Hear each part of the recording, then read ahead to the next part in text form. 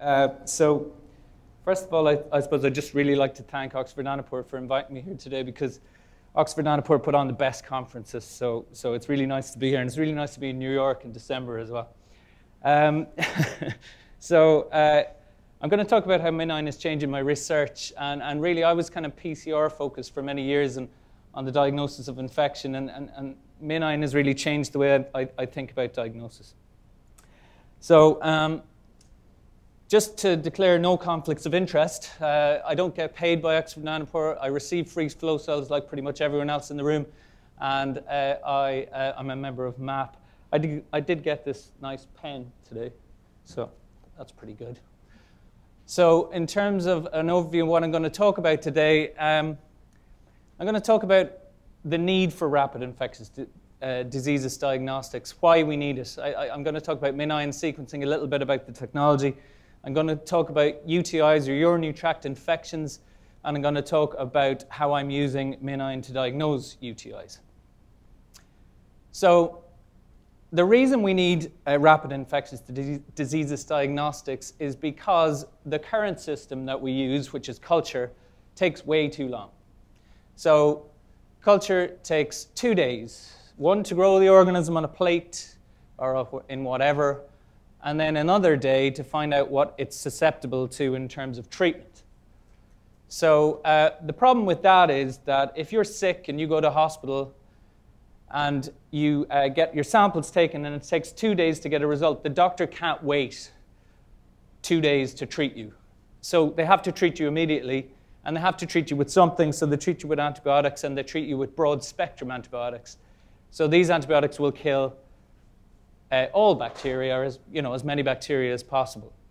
And that's not ideal for a number of reasons. So some patients get antibiotics when they shouldn't get antibiotics antibiotics at all. Maybe they have a viral infection. Maybe they don't have an infection at all. Maybe it's something else. Then some patients are over-treated. So that, effect, oops, um, that effectively means uh, that you've given them a, a, a, very potent antibiotic when they really don't need it. They could do with something less potent. Some patients are over, undertreated, which effectively means that the drug that you've chosen will not work for them because the strain that they have infecting them is resistant to the antibiotic that you chose.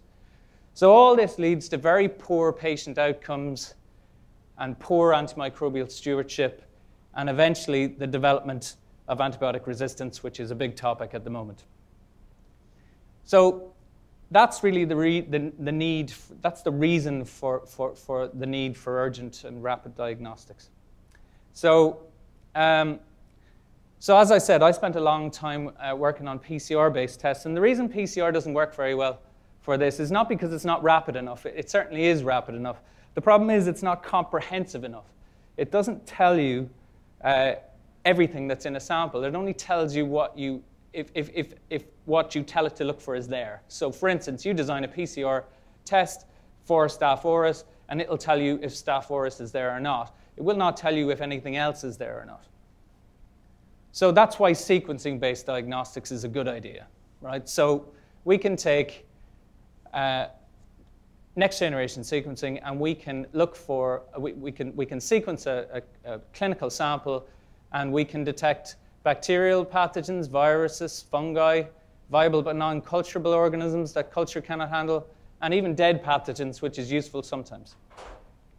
We can also, uh, it, it, it's very rapid compared to culture, which is good and especially now with, um, with the types of technology such as MinION, which has sped things up greatly. Um, we can detect um, antibiotic resistance markers using this technology, and it will allow us to uh, develop um, stratified antibiotic treatment. So we can now sequence a clinical sample, and we can tell you what's in it in terms of a pathogen, and we can tell the doctor what to treat with immediately or with, within a few hours. So it'll allow us to use narrow spectrum agents. So not just use broad spectrum antibiotics, which kill lots of things, but use narrow spectrum agents, which kill a specific organism or a group of organisms. Also, it will enable, enable us to, um, to uh, test uh, narrow spectrum agents and use them in the future. So we have to be able to trial them if you cannot uh, do a diagnostic trial without the right diagnostics, you cannot do a, a, a, drug trial without the right diagnostics. So if you have good diagnostics, you can good, do good trials and you can uh, uh, start to use narrow spectrum antibiotics, which would be very helpful in the future. So with sequencing, you can go, you can detect bacterial or viral, you can detect the bacterial type, you can detect whether there's resistance presence. What you cannot do is, is detect susceptibility and that's a little bit more challenging. And you need the, the, the um, isolate really to be able to do that. We're working on methods of doing that and speeding that up, but it's a little bit more time consuming. So this is just a picture of our sequencing lab. And a year and a half ago, I hadn't used any form of sequencing for anything. And now we're lucky enough to have, you know, we've got a MiSeq and a NextSeq, and we have two uh, MinIONs. But the point of showing this is over here across the field here in lovely rural Nor Norwich in England, we have a, a place called the, the Genome Analysis Center, which is a genome center. And in that genome center, you know, you've got every type of machine, and that's where most of the sequencing used to, used to go on. But now, you know, we've moved it into our lab here for clinical sequencing. And, and the next thing to do is to get these little sequences into real uh, clinical uh, microbiology labs and hospitals. Um, so we managed to publish, one, I think it was the first paper to use MinION sequencing for, for biology. And, and so what we did was we, we, we, um, we managed to uh, identify the position and the structure of, of an antibiotic resistance island in, in, in Salmonella typhi. And you know, it, it, was pretty simple stuff, really. You take the long reads of the, um, of the, from the MinION and you use it to, to, to um, uh, figure out the structure of, of, of, the island, which, which had broken using Illumina assembly because of repetitive regions. And this is very much out of date already because you know, people are now uh, doing um, um, de novo assemblies of, of, of, full genomes. So, so this, this is out of date. It's only a year old, but it's out of date. Um, so this is the type of data that we were getting. We were, you know, we're getting 70 megabases of raw data, only, only 22 megabases of, of, of 2D data, around 5x genome coverage. Now we're getting better. This is looking, more and more of our flow cells are looking like this giving us lots of nice green uh, pores with, with, with, DNA going through them and lots of sequence. And uh, so, you know, we're getting between one and two gigs far more regularly than we used to get. And I, I really do like to show this uh, slide because because I'm up here. Uh, and I think, unfortunately, Oxford and Nanopore have decided to stop the competition, which I didn't think is a good idea. But, but since they have stopped it, maybe I'll always be here. So that's, that's a good thing. Right, so move on to urinary tract infections. So th this is the application I'm going to talk about today. I also do a lot of work on respiratory tract infections and sepsis as well. But um, UTIs are, are, one of the most common uh, infections and one of the most common reasons for prescribing antibiotics. Um, uh, they're mostly kind of mild and, and, and easy to cure. Uh, but some in, uh, UTIs can become quite serious and uh, they, mo they, move up the urinary tract and uh, they can turn into uh, sepsis or urosepsis. Um, so there's about 30,000 cases of uh, um, E. coli sepsis in, in, in, England in 2014, and the majority of those were, were, had a urinary origin. So they started in the urinary tract. And um, about 40% of the E. coli uh, that they isolate are, are resistant to first-line treatment. So what's happening now is you're getting, this is driving the use of, of previously reserved antibiotics, oops, for, um, for, for simple infections like UTIs. And, and this isn't ideal. So obviously we've decided to try and address this by using um, Oxford nanopore sequencing to try to uh, rapidly diagnose UTIs in, in, in serious cases. So on to a point that was mentioned earlier on that, you know, uh, how do we, how do we uh, avoid using all our sequencing power for sequencing um, the, the host genome? So, so we use pathogen DNA enrichment strategies for, for most of our clinical sequencing applications. So, and they vary depending on the sample type. So with, with urine, it's, it's not that difficult in some ways because what you have is you've got a mix of human cells and bacterial cells, and, and you can do a very crude enrichment by just doing a very gentle spin, which spins down the larger human cells and, um, and leaves uh, the bacterial cells in, in the supernatant. But that gets rid of maybe 80% of the, the human um, cells, but it depends how heavily uh, contaminated it is with human cells. And if it is heavily contaminated, you really have to do another step. So what we do then is we, um, we, we, what we do is we add a differential lysis solution. We lyse the rest of the white cells that are there, and we DNase treat all that lysed, uh, that human DNA then, and then we're left with a bacterial pellet effectively, and we extract the DNA from that, and then we go on to do our, our, our sequencing. So um, this is a, a, graph that effectively shows 10 urine samples that we've done over about over around a year. And then we've done some spiked urine samples along the way as well. And we spiked them with this nasty NDM uh, strain of E. coli, a highly drug-resistant strain of E. coli. And what you can see is that over time, uh, things have gotten a lot better you know, we're on a steady increase in the total yield of, of, of, of, data that we get from each flow cell. We weren't very good here at the start. Some of the reagents weren't excellent. Some of the flow cells weren't excellent. But pretty much we've been getting better and better all the time. So, and this also illustrates that, and it just shows the three spiked samples, this nasty E. coli bug, using the three chemistries, MAP4, MAP5, and MAP6.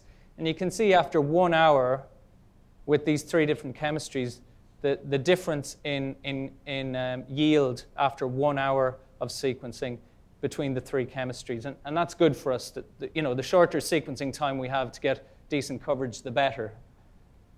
So um, this is just what we use. We're, we're not good bioinformaticians in my lab, I'm afraid. So we like to use these automated tools that are provided by, um, by, by, by Oxford Nanopore. So WIMP is brilliant for us. It, it, does exactly what we need it to do. And, and so we just uh, feed these reads in real time directly into WIMP, and we see that we uh, identify, in this case, this nasty E. coli. You know, it, it won't tell us exactly what E. coli it is, but we know it's E. coli within about five minutes. We know it's E. coli.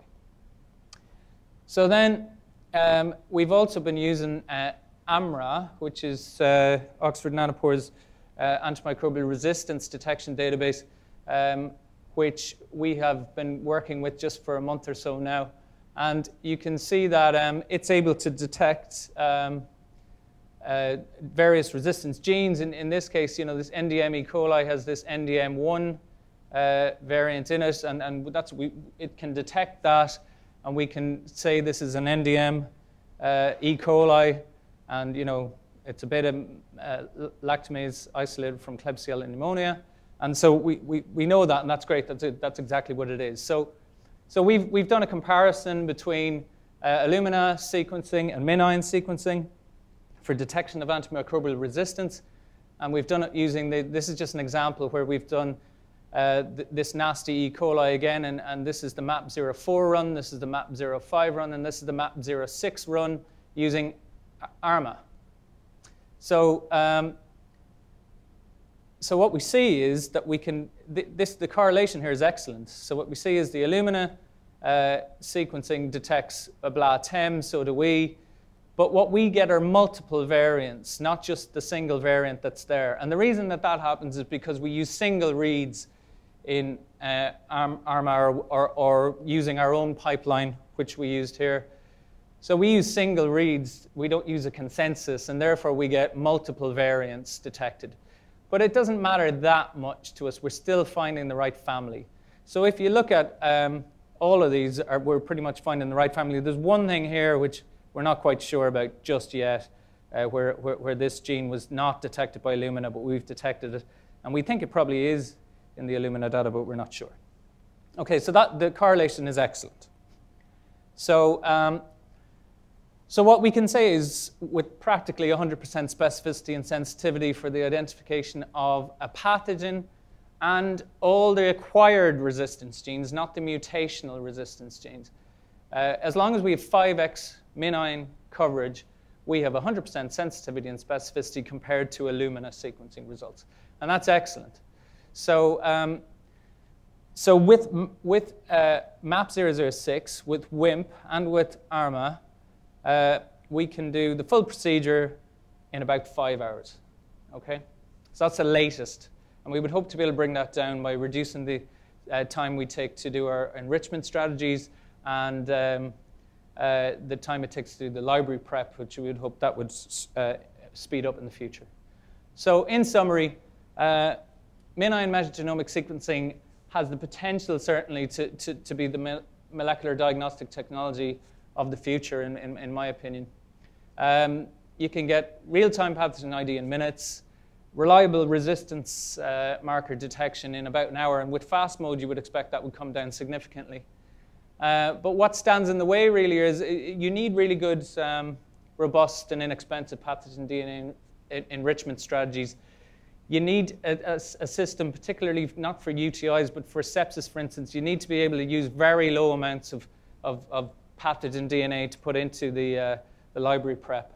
Uh, that's important. I know you've gotten down into the nanogram range, but I, I, think we need to go even lower. And then the last thing that we, that the really biggest point in this whole area of research is there's a bit of an elephant in the room, and that, that is like um, contamination. Contamination is a massive problem.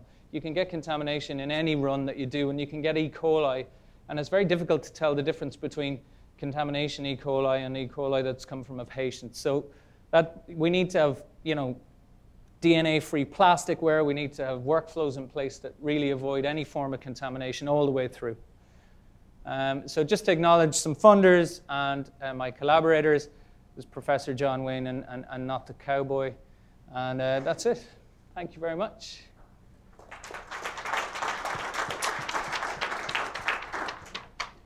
All right, any uh, questions for Justin?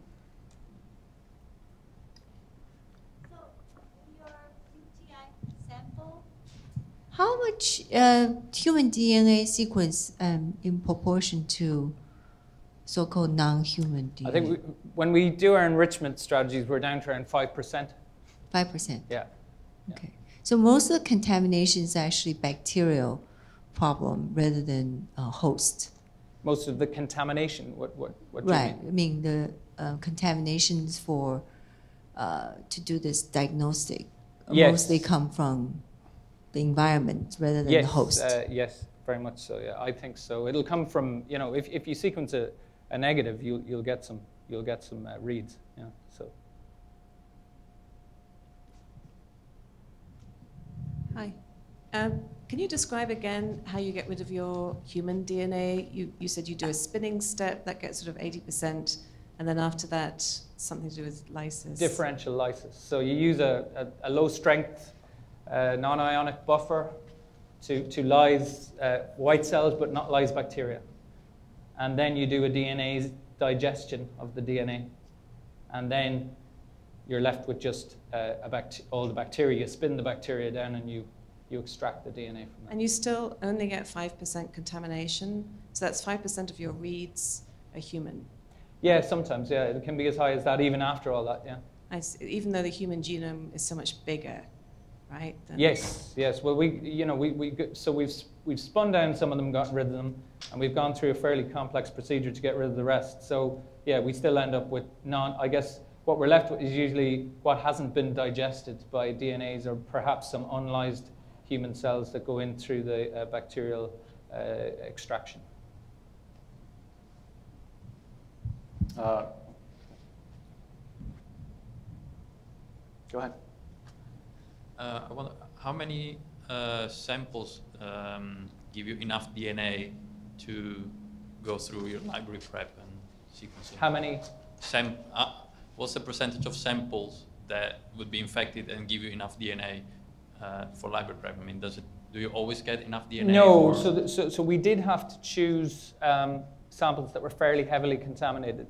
So, so in terms of bacterial numbers per mil of urine, we would have needed around 10 to the 8 uh, in, in a mil of urine. Now, some urines can be infected and have only 10 to the 5.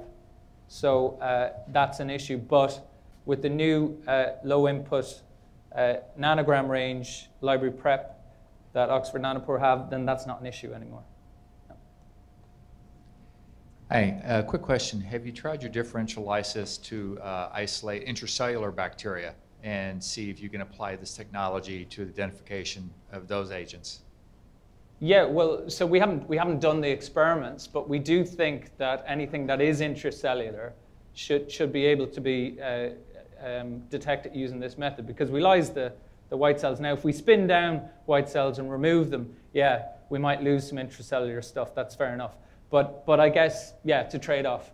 Uh, in in UTIs, I don't think that's a massive issue, but in in uh, in sepsis or something, it might be. Yeah. All right. Um, thank you, Justin. Thank you. Fantastic.